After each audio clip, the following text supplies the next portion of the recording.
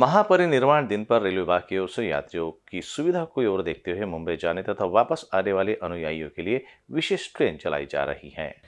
Train में सफ़र करने वाले यात्रियों को कुछ दिशा निर्देश के पालन करने के लिए कहा जाता है, लेकिन यात्री इन आदेशों की ओर अनदेखी कर अपनी जान जोखिम में डाल देते हैं।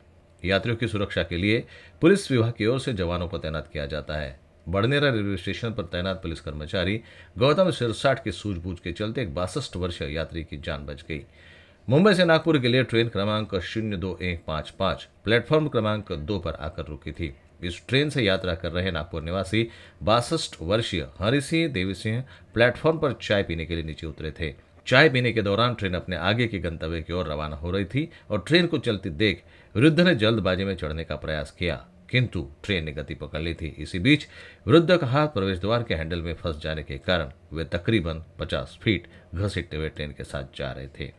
ये नज़ारा देखकर वहाँ पर तैनात पुलिस कर्मचारी गौतम सिरसाट ने दौड़ लगाते हुए ज़ोर से चिक्कर चेन पुलिस के लिए गुहार लगाई।